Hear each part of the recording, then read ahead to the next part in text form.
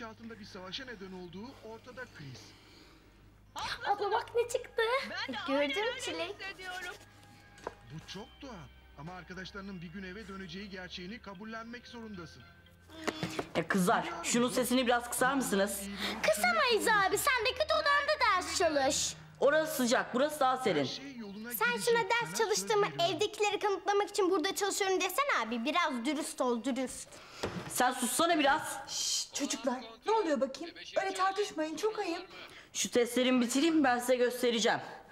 Bitir de bir an önce Antalya'ya gidelim abi. Sayende hepimiz bu sıcakta burada kaldık.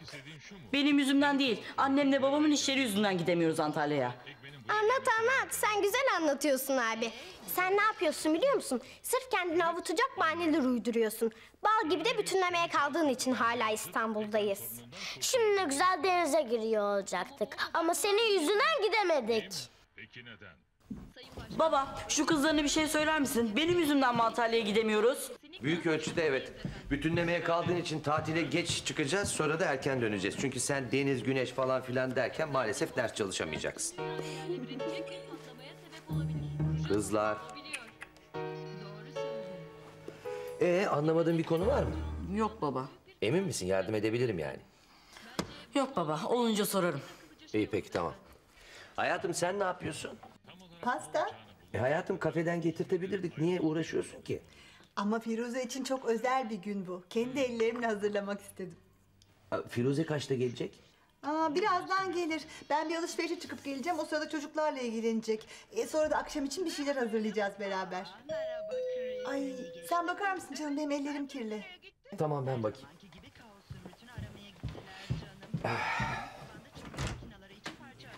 Oo buyursunlar. Ay, merhaba Sadık Bey. Merhaba. Aa, ben siz işe gittiniz zannediyordum. Aa şey e, cumartesileri Yavuz erken gidip erken çıkıyor. Ben de geç gidip mesai sonuna kadar kalıyorum. Aramızda öyle anlaştık. Eh iyi bari. Bir gün fazladan uykunuzu alırsınız.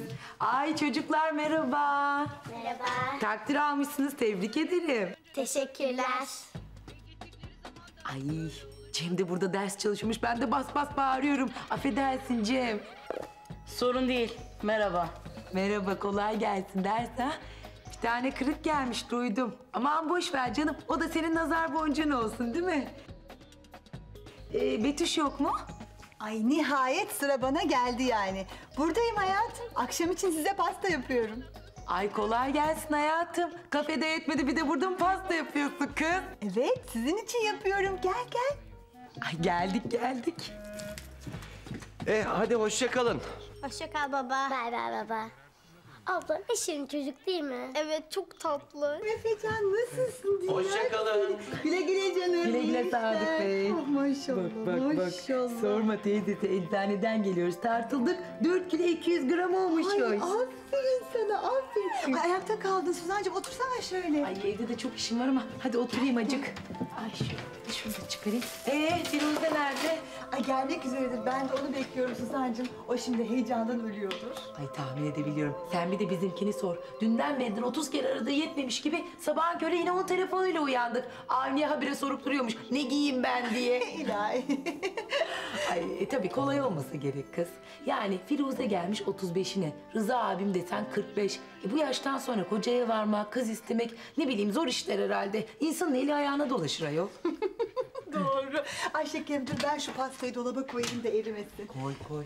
Aa Suzancığım ben sana sormayı unuttum. Şimdi akşama Mevhibe teyze, işte Avni Bey, Rıza sen falan başka gelecek biri var mı? Ay yok ayol yok. Biz bizdeyiz. E Rıza abimin hayatta hiç kimsesi kalmadı ki. Onun namına Firuze'ye Mevhibe Hanım isteyecek. Aa, bir de Firuze'nin ablası geliyordu değil mi? Evet. Eh, hadi hayırlısı olsun bakalım. Aman usul diye toplanıyoruz. Adet yerini bulsun. Yoksa ben yürekten inanıyorum. Firuze ile Rıza abim gör bak çok mutlu olacaklar. Ay dilerim öyle olurlar Suzancığım. Ay yalnız biliyorsun değil mi? Rıza abim evlendikten sonra ben artık Firuze'yi çalıştırmam diyor.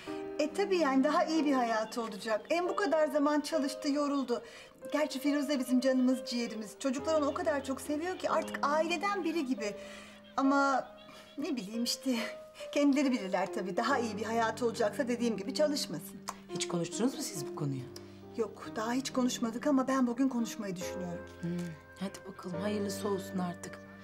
Ay Allah seni eşek. Ay bu yine pöh yapmış teyzesi. Ben gideyim de eve altını temizleyeyim. Bütün gün cök cök cök emiyor ondan sonra da gümrükten çıkış tabii. Hadi biz gidelim. Bir kahve içseydin. E akşama içeriz artık şekerim. Ay, ay bak görüyor musun? Bunun bezi bitti ben de almayı unuttum kız. Şimdi eczaneye gideceğiz bez alacağız tekrar eve döneceğiz. Hadi Efecan bay bay de teyze. Kolay gelsin size Efecan'cığım. canım. Güle güle. Hadi Hadi dikkatli görüşürüz, olun. ol. Görüşürüz akşama. Canım. Ay evet kızlar. Benden bir isteği olan var mı? Yok anne sağ ol. Peki ben şimdi duş almaya çıkıyorum. Üstüm başım çok kirlendi. Bana bakın pasta dolapta. Hiç kimse ona dokunmayacak. Eğer canın tatlı isteyen olursa dolapta çikolata var onu yesin. Anlaştık mı? Sen onu abime söyle. Bu evde bir tek buzdolabı faresi var, o da abim. Of yeter artık. Sizin benimle uğraşmaktan başka işiniz gücünüz yok mu? Ya abi niye bağırıyorsun? Evet yani lütfen sakin konuş. Espri de mi yapamayacağız? Of yetti artık. Benimle uğraşmayın tamam mı? Ben odama gidiyorum. Oraya da sakın hiç kimse gelmesin. Hiç kimse. Yeter ya bıktım hepinizden bıktım. Cem oğlum. Çekilin. Siz de bu aralar fazla ileri gidiyorsunuz ama. E biz bir şey mi yaptık anne şimdi? Bir kere hiç konuşmasın. Zaten onun yüzünden tatile gidemiyoruz. Bir de hala üste çıkmaya çalışıyor.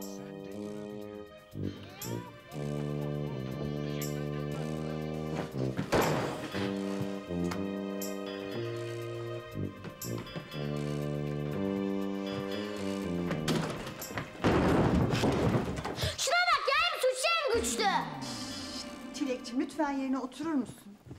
Kızlar şimdi sizden beni son defa ama çok dikkatli bir şekilde dinlemenizi istiyorum. Evet haklısınız. Abiniz bu sene bizi çok üzdü.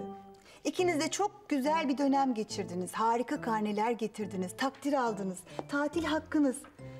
Ama biz bir aileyiz. Birimizin sorunu demek hepimizin sorunu demektir. Anne, bütün sene Tuğçe ile gezdi. Bilgisayar oynadı, yedi içti, uyudu. Bile bile ders çalışmadı. Bu bizim sorunumuz değil. Evet, biz niye kışın o kadar gezmedik? Yazın güzel tatil yapalım diye. Abim bütünlemeye kaldı diye. Biz neden eve mahkum olalım? Bana bakın hiç kimse eve falan mahkum olmayacak.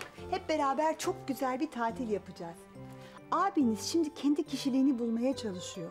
Yarın öbür gün bu sizin de başınıza gelecek. Nasıl yani? Kişilik anneye babaya cevap vererek, başına buyruk yaşayarak, izin almadan dışarı çıkıp söz verdiği saatte eve dönmeyerek mi oluyor? Evet, nerede kaldın deyince sana demek kişilik sahibi olmak demek mi? Çilek, Ceren ama siz beni hiç dinlemiyorsunuz ki. Ağabeyiniz şu dönemde cinsel kimlik arayışına girdi. Cinsel kimlik mi? O da ne demek? Yani böyle her şeyi tek başına yapabileceğini, canı istediği gibi davranabileceğini filan sanırlar. Ee, insanlar bu dönemleri ya içlerine kapanarak ya da etrafındakilerle didişerek, kavga ederek filan atlatırlar. Yani abinizin içine kapanmasındansa bunu bizimle beraber atlatmaya çalışması çok daha iyi.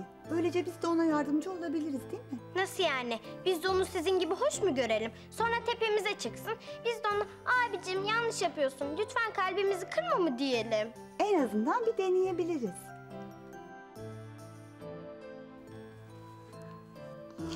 Hadi kızlar, anneniz sizi çok seviyor. Hadi bize biraz yardımcı olun ha. Ben şimdi duş yapmaya gidiyorum. Ondan önce abinizle konuşacağım. Siz de bu söylediklerimi iyice bir düşünün fıstıklar. Abla, cinsel kimlik ne demek? Ay nereden bileyim Çilek? Benim genç kız olmam gibi bir şey herhalde. Abim de erkek oluyor galiba.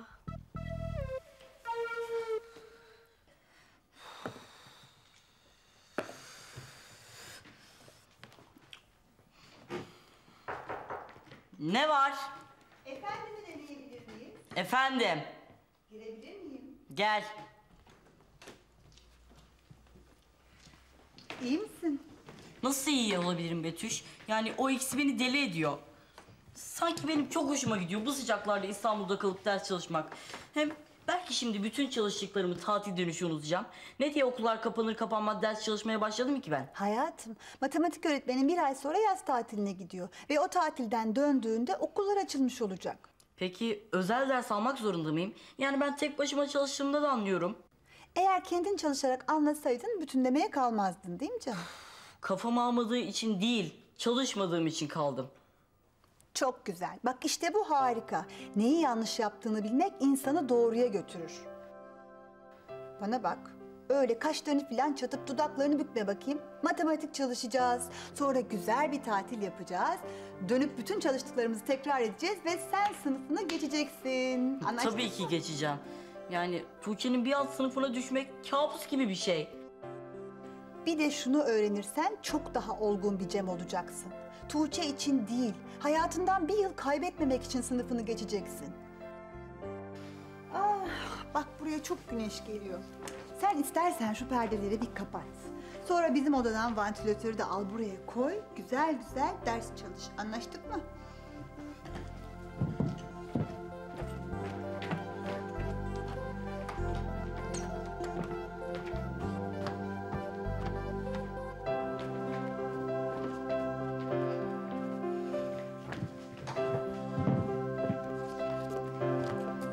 Kanalımıza abone olarak tüm videolardan anında haberdar olabilirsiniz.